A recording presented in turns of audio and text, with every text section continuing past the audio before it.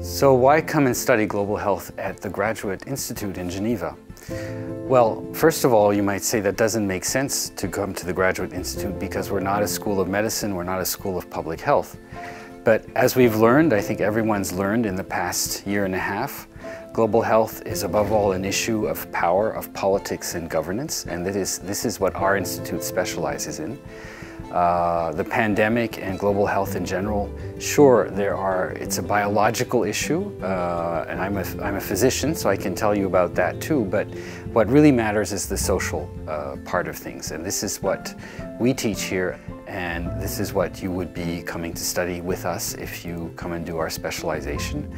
Uh, there's another reason, which I think is really uh, perhaps even more important, uh, it's the people. Um, we're a community. You can see our nice salon here. Uh, and we really uh, believe in uh, fostering a sense of community and generosity and sharing. And, and that, I think, is a really great learning experience, particularly when you're in the capital of global health, which is Geneva.